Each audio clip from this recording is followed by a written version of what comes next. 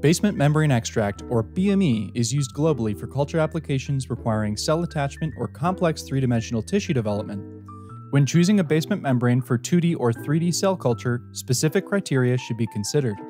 In this video, we describe the importance of these criteria and introduce R&D Systems Cultrex Ultimatrix BME, our ultimate basement membrane matrix for cell culture. Basement membrane clarity can be a quick indicator of product quality. Low clarity indicates premature protein aggregation or the presence of insoluble protein, which can impact performance and consistency. Cultrex Ultimatrix BME consistently demonstrates high clarity across lots, thanks to a manufacturing procedure that ensures the BME is composed of a soluble and homogeneous mixture of extracellular matrix protein. Tensile strength refers to the stiffness of the solidified basement membrane matrix. Using a matrix with consistent tensile dynamics across lots ensures experimental reproducibility when working with cultured cells and tissues that have different stiffness requirements. Cultrex Ultimatrix BME increases its stiffness as it gels at higher temperatures. The gelling rate and final tensile strength remain consistent across commercial lots.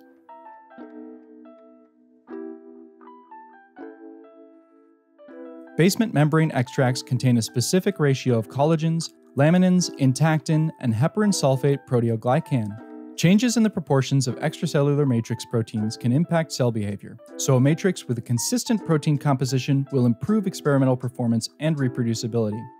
Cultrex Ultimatrix BME was designed just for this, with a manufacturing process that maximizes protein concentration and maintains lot-to-lot consistency of extracellular matrix protein ratios, including a high concentration of entactin, a key cross-linking protein within the hydrogel.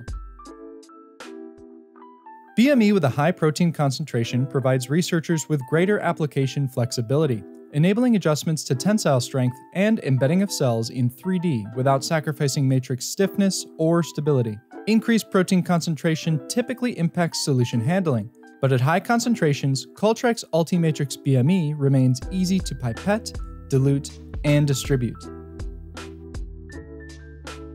Cultrex Ultimatrix BME has been extensively tested and shown to support tissue, adult stem cell, and iPSC derived organoid formation, spheroid formation, pluripotent stem cell expansion, cell invasion, and more.